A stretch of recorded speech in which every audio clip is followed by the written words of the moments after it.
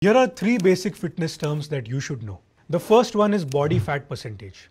Body fat percentage measures the actual amount of fat in the body. This is a more accurate representation of calculating whether you're overweight or obese. Body fat percentage can be accurately measured by doing a DEXA scan.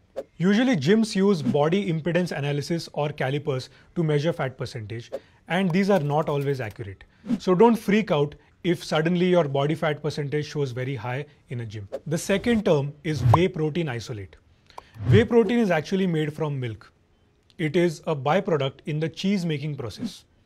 And whey protein comes in three forms whey protein concentrate, isolate, and hydrolysate. In whey protein concentrate, there is some lactose content.